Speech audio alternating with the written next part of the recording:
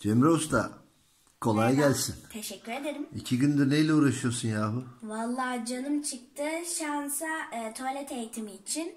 E, biraz haylaz olduğu için hemen çıkıyor. Onun için böyle küçük bir yer hazırladık. İçinde zaten gazete örneğimiz var.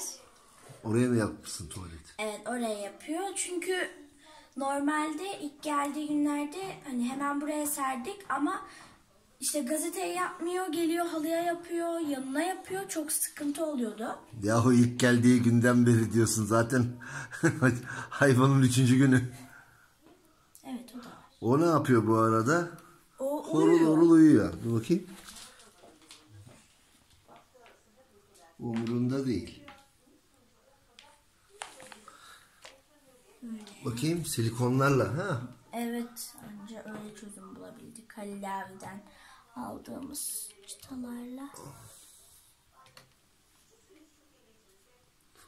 Anasını yedi, oyun oynadı. Şimdi horul horul uyuyor. Güzel de olmuş ha. Tasarımı harikası. Teşekkür ederim. Annem sayesinde.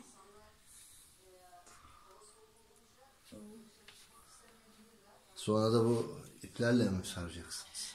İplerle sarmayı düşündük aslında ama saracağız. Yani sonuçta çıtalarımız biraz eksik kaldı. Orayı zaten duvara dayayacağız. Oradan çıkmaya çalışmıyor ama yine de iplerle sabitleştireceğiz. Bir Yani göreceğiz bakalım. İnşallah çıkmaz. Sabahtan beri, daha doğrusu dünden beri deniyoruz. İnşallah olur.